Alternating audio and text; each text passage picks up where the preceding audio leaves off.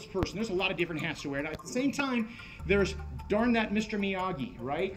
So now everybody has this impression, the, the Miyagi effect. You all know what I'm talking about. They kind of there's, there's a certain uh, uh, what uh, example that we're all striving to give to our uh, to our, our students. So it's sometimes it's hard to let that guard down a little bit, you know.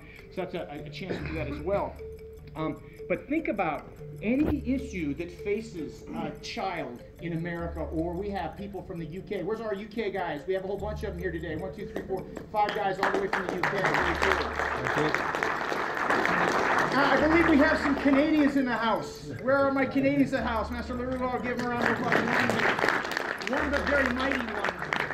Uh, you think about uh, challenges that face youth. Uh, what comes up? We hear about bullying. Do we address that?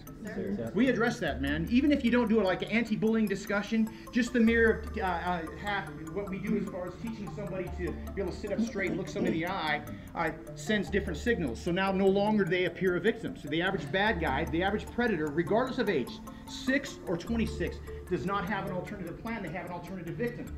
And we teach our students to uh, project confidence. By the way, we don't really even have to teach them. Although the extra credit to really show them how to do it is important, but just the nature of martial arts is going to make them, uh, you know, project confidence. So stacking the odds in favor of them never having to get in a confrontation in the first place. We all know that to be true. Obesity, is that a big deal or what? Right? Do we address that? Yeah. Yes, directly, if not directly, at least indirectly, right? The nature of martial arts makes people think be more healthy. Uh, how about focus, concentration? You all know, man, these are all things that you guys do all day, every day. And it's not just words that we give in our introductory, it's, it's real.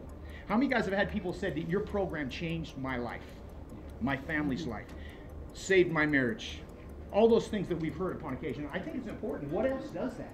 You guys know what I'm saying? Re- Really, what else? And I talked about kids, let's think about adults. How many guys had that, uh, that, that lady that came to you that may have been athletic in high school, had a couple kids, kind of put herself last, right? And all of a sudden, here she is, kind of approaching middle age and not feeling the same level of confidence she once once did. Any you guys have that person in your school that mm-hmm. you gave their youth back to, or that that guy that played football in high school? You all know the one, right?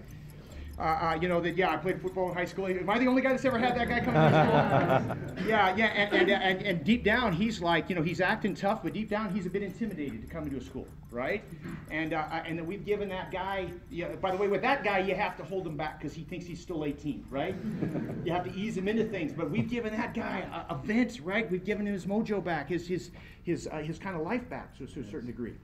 And so I think first and foremost is that that uh, I, a lot of times, man, we vent, and I'm, I'll vent to my friends, and you guys might vent to your friends about all the things you dealt with. But at the end of the day, where can you go? What can, where can you do where you can make a living, support your family, doing something you love that has a positive impact on your community, and there's no stress? Exactly. There's nowhere. There's going to be stress. You guys know there's going to be issues, right? Yeah. But it, but it's it's always worth it in the in the in the long haul. Um,